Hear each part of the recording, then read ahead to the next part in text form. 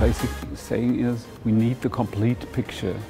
Right now, everybody talks about aspects of COVID and about, you know, vaccination, but to get the real complete picture with all colors, you need to be here and you need to talk to all participants and on a longer basis than the usual 90 seconds or 30 second snippets that we get in electronic media.